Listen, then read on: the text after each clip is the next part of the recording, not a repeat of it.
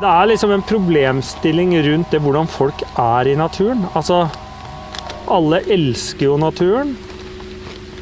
De er så veldig glad i naturen, men straks de kommer ut i naturen, så må de jo løpe av gårde. Er de glad i å være i naturen?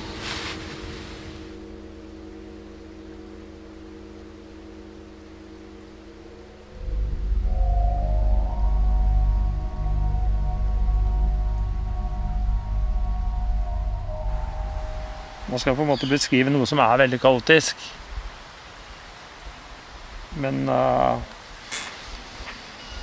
Men uh, det må være en viss struktur i det allikevel. Da. Så det er vanskelig å få til.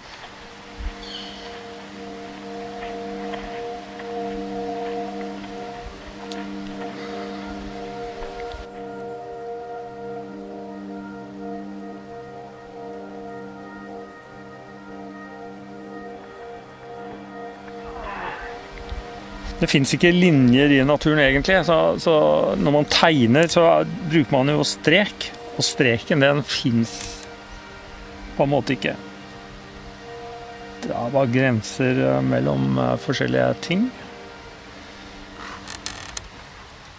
Det er litt lettere å tegne hus og gateløp og sånt. Hadde det vært et lite uthus her, sånn her De har jo sånne løer ute i skogen. og som står og forfaller. Hadde vært det her, så hadde jeg malt den. Men det er ikke her.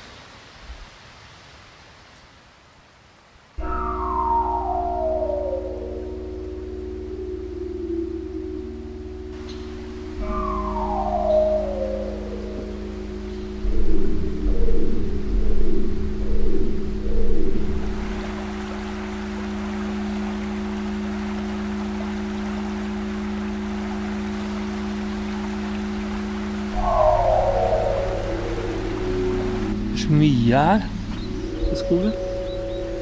Mye å forholde seg til.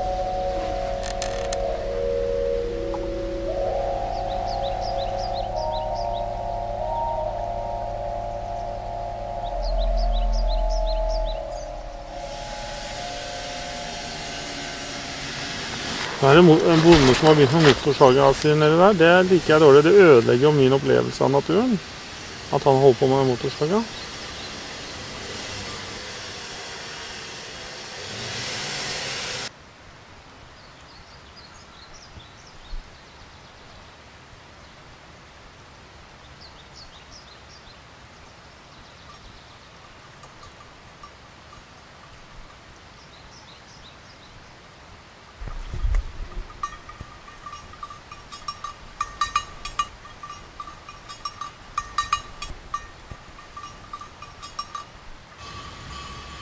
Det er en forskjell på meg og vegetarianere. Vegetarianere de syns synd på de sauene for de skal dø.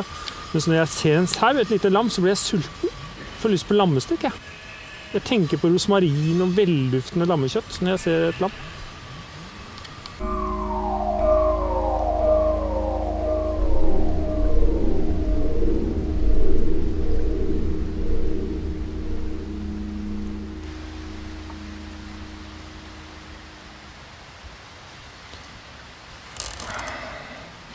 De tærne går fra å være veldig lyse til å bli veldig, veldig mørke. De er liksom det lyseste bildet og det mørkeste bildet. Så det er jo et mareritt.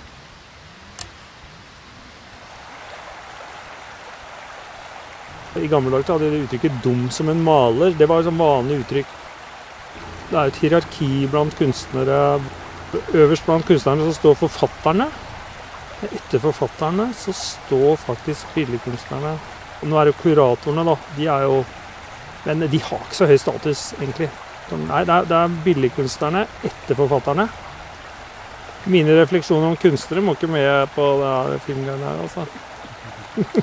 det må ikke med.